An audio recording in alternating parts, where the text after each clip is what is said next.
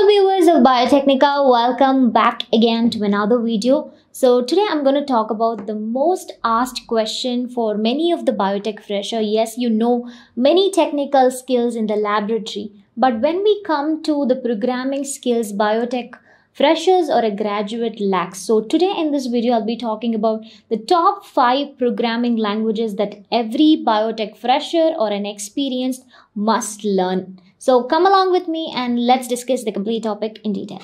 So when we talk about the second fastest vaccine is mumps vaccine which is actually prepared almost 5 years. But when we talk in case of COVID-19 times, we actually got the vaccine within one year period. But how this is made a bit faster when we talk about uh, the mumps vaccine, which is created almost, it took like five years.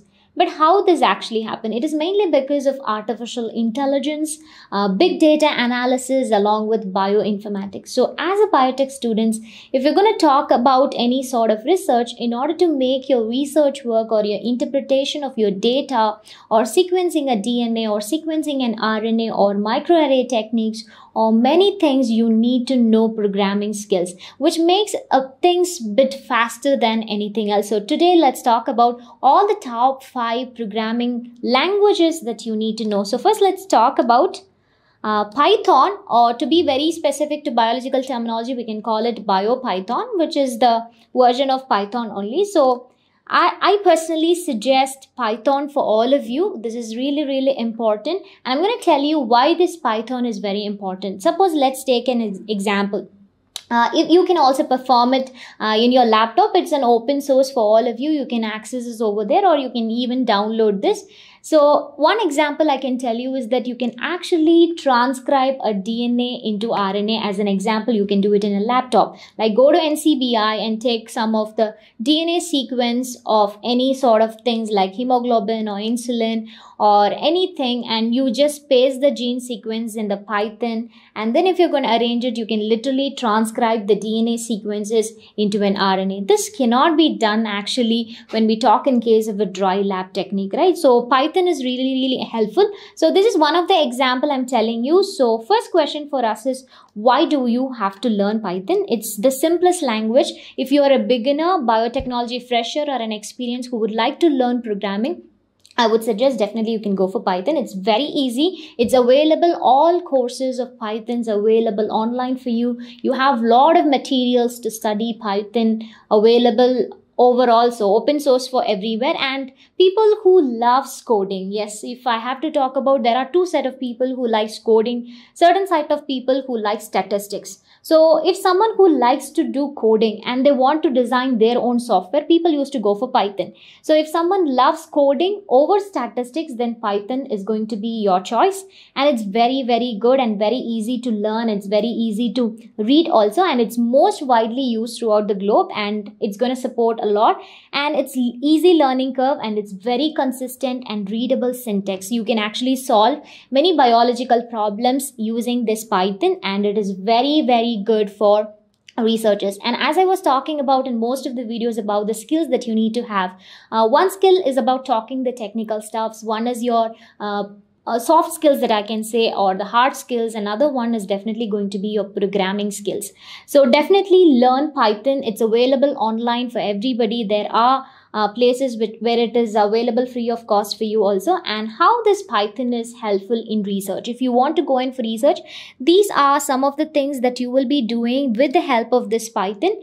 So it is useful for dna sequences. Manipulating a dna sequence rna sequence amino acid sequence. As i already mentioned transcription can be seen through a python also and it's very very compatible with other programming languages. It's very easy to incorporate and it has a very uh, well library setup for solving many scientific problems for you. If you go and understand you will understand what exactly i was telling to uh, tell to all of you. So learn python which is available. And of course what's the application of this python? Of course we talk about dna sequencing before. We talk about next generation sequencing. So if you want to perform NGS, you can use Python. And literature searches, you can go in for literature searches and you can also manipulate the DNA. You can just make genetic changes in the DNA with the help of Python.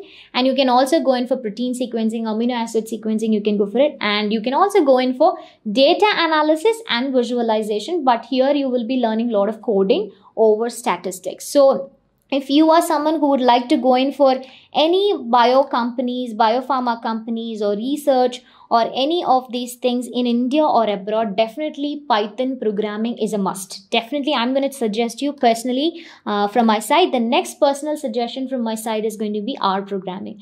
So, to compare Python and R programming, R programming is mainly for uh, statistical analysis over coding. So if you're someone who are doing research and you would like to, we people will talk about SPSS ANOVA. R programming is very, very good when you go in for statistical analysis. So R programming is best for statistical analysis. Now the question comes for us is, what is this R programming? It is used for statistical analysis. Suppose if you have a survey and you want to do analysis on that, you can definitely go for R programming programming and it's very popular in the biological world yes. So people used to compare bio, uh, biopython with r programming. So if you are someone uh, biotechnology students or anybody at least these two programming is a must. Even if you're not uh, knowing many other program at least uh, python and r programming is a must for all of you.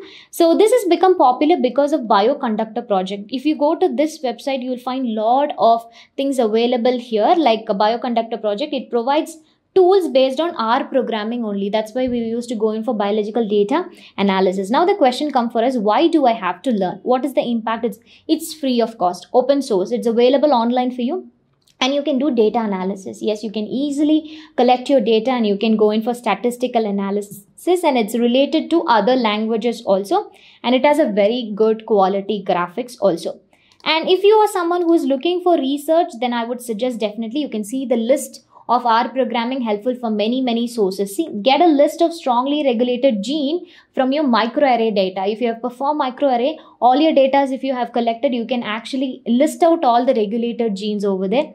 And you can also uh, perform this one, do a pathway or gene ontology analysis. You can check in for the pathway of any genes or any proteins, everything over there. You can also check the quality of several type of data like sequencing, mass spectroscopy. As I already mentioned, technical skills, you need to know mass spectroscopy, GCMS, uh, flow cytometry, microarray. So when you know the technical stuffs, you have to check in for the data. So how you actually, you get the data after your technical analysis and then you have to know how it can be uh, statistically done analysis. So that is with the help of R uh, programming. And it also helps you to have an idea of which transcription factor must be regulated based on the list of regulated genes. Suppose there are 10 regulated genes that you're going to see, uh, which are acting as a transcriptional factors which in expresses. So these transcriptional factors, which one is more regulated? You can actually analyze all those things during this data analysis. And of course, automated analysis of qPCR data. You can also incorporate qPCR data. And of course, this is mainly for statistical test whichever data you provided there it's going to be very easy. If you're some researchers who would like to go for it then you have statistical analysis to be done. Definitely i would suggest more than SPSS and ANOVA, R programming is really, really going to be helpful for all of you. Next, the next question, if you are a researcher, I'm going to tell you some free R tutorials for beginners. You can go to this one, which is readily available for all of you. Uh, this is usually uh, universities, you can see abroad are providing online courses free of cost uh, for programming very specifically in biology and they have some projects also you can literally go for this uh, R programming tutorials also and you can find a lot of these days uh, Python R programming everything is available free of cost and it's available in all sources so you can also check into that. The next one as I told you first two are really really important. The next one I'm going to talk about is JavaScript most of you know about javascript. If you are someone who wanted to know then definitely you can go for it. Now the question comes for us is why do we biologists have to learn this javascript? So it is helpful in visualizing the biological data. There are differences. We'll be coming up with many more videos of all these things. And javascript in biological research yes.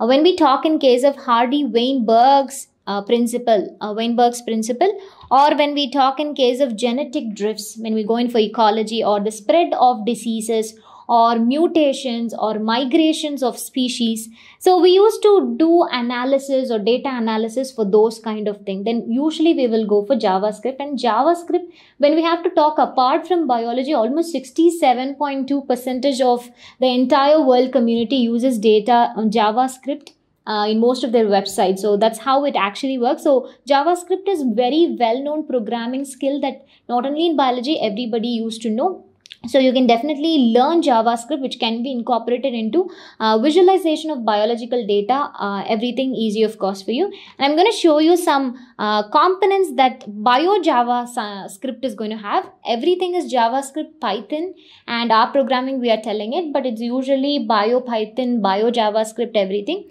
So you can see protein feature viewer also you can see here about the proteins you can see gene expression summary you can check here. Suppose if you're going to put over your gene all the expressions you can check. Interaction tables you can see. Protein 3d dimensions you can see in the form of pdb format and protein portfolio chromosome visualization as i already mentioned visualization becomes very very easy using javascript model. So these are some of the advantage of using javascript. So you can also take up javascript as the most important thing so the next comes perl yes so Perl is a wonderful programming languages. So Python, Perl and R programming are really good enough to take up. So what is this Perl? It's an object oriented pro programming languages and why do you have to learn? It's very easy uh, for the process of manipulating DNA or proteins and it's very much useful in research. When we talk in case of uh, R programming is also helpful for interpreting biological data. This is also helpful like DNA sequences, protein sequences, three-dimensional structures of a protein, everything you can learn it through this BioPerl. So BioPerl is one of the important programming languages as a biotech fresher or an experience you need to learn. The next important programming language I'm going to talk about is MATLAB. Okay. So what is this all about? It is also a wonderful programming languages for all of you. And why do you have to learn? If you are someone who has studied pharmacology and you want to go in for a drug analysis, then you want to incorporate pharmacokinetics over there, then this is just going to be your uh, programming language you can go for incorporation of mathematics and system biology, which is growing these days, and bioimage processing. Of course, most of the things that you're going to see it over here are biostatistics only so you can also use it for your biostatistics purpose. And it's mainly responsible for data analysis. You can perform spectrum of analysis. I'm going to list out uh, whether it's going to be phylogenetic tree or microarray or sequence or mass spectroscopy or gene ontology. This matlab is definitely going to be helpful for all of you so we've been talking about the top five programming languages which every biotech fresher should learn or must learn, I would suggest. Uh, first, you start off with Bio Python or Python, which is available for you, all of you. Uh, open source is available, and we are coming up with many more uh, uh, how to become a programmer in biology also. So you can also have this workshop, which will be coming online. Get updated over there. So R programming definitely a must for you and then go in for Perl and then take up JavaScript, MATLAB, and there are many things C, C, C Sharp. There are many, many programming languages which are actually available. So, most important thing for a biotech fresher is these five uh, top five programming languages. I would suggest first initially start up with uh, the beginners one like Python and R programming, and then you can proceed on with the rest of the things. So, I believe that this video is helpful for all of you. And what do you think about uh, the best programming tools that we can incorporate in biology? What's your suggestion? Put it in the comment section. Thank you all of you for joining.